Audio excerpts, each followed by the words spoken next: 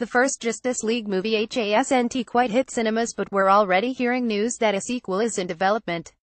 J.K. Simmons, who plays Commissioner Gordon in the DC Extended Universe, told Total Film that a script is already being worked on. This is the first Justice League movie, we hope, of a few, he said. They're working on scripts for the Batman and for the next Justice League movie. Advertisement continue reading below Justice League introduces my incarnation of Commissioner Gordon. I don't know have a lot to do. I feel like I just dipped my toe in the water of who Commissioner Gordon will be. We haven't seen a great deal of Simmons' incarnation of Commissioner Gordon other than glimpses in the trailer and this picture tweeted by Zack Snyder.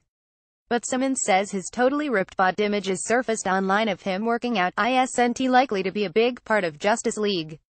Well, Commissioner Gordon wears a trench coat in every scene so I don't know that the pumped up part is going to be all that evident, especially when you're standing next to Batman, he said.